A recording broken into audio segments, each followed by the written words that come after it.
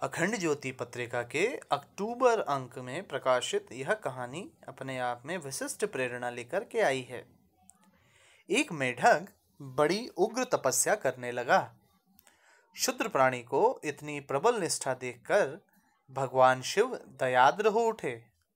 उन्होंने उससे पूछा, वत्स, तुझे कोई कष्ट तो नहीं है? मेढक बोला, भगवान, पड़ोस में एक दुष्ट सर्प रहता है। जो मुझे भय देता है, उससे ध्यान में विघ्न पड़ता है। कोई ऐसा उपाय कीजिए जिससे मेरा भय दूर हो और मैं निश्चिंत मन से तपस्या कर सकूँ। भगवान शंकर ने मेढक को सांप बना दिया। अब उसे दूसरे सांप का भय न रहा, परंतु थोड़े दिन में एक नेवला उधर आने लगा। मेढक को फिर भय उत्पन्न हो गया। मेढक ने पुनः भगवान शिव का ध्यान किया तो वे प्रकट हो गए। कारण पूछने पर उसने नई व्यथा सुनाई। भगवान ने उसे नेवला बना दिया। नेवला बना मेढक सुखपूर्वक तप करने लगा।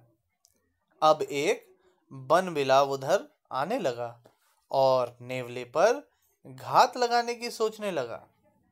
मेढक ने अपनी व्यथा पुनः भगवान शिव के सम्मुख रखी तो भगवान ने उसे वनविलाव बना दिया। कुछ दिन बाद सिंह की आँखें बनबिलाव पर लगी तो शिव जी की कृपा से उसे सिंह का शरीर प्राप्त हो गया। इतने पर भी चैन न मिला। शिकारी अपना जाल और धनुष संभाले सिंह की घात में फिरने लगा। मेढक ने आर्त भाव से शिव जी को पुकारा, जब वे पधारे तो उसने कहा, प्रभु मुझे मेढक ही बना दीजिए। सिंह का शरीर छोड़, पुनः उसी छोटे शरीर में लौटने की इच्छा करने वाले मेढक से आश्चर्यपूर्वक भगवान पशुपति ने पूछा, ऐसा क्यों?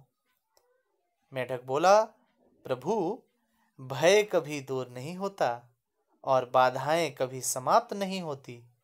जीव जिस स्थिति में है, उसी में कठिनाइयों से साहस पूर्वक लड़ते हुए आगे बढ़ सकता है? ऐसा मैंने समझा है।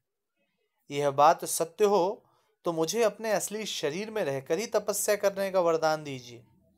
भगवान शिव संतुष्ट हुए और उसको वही वरदान दिया।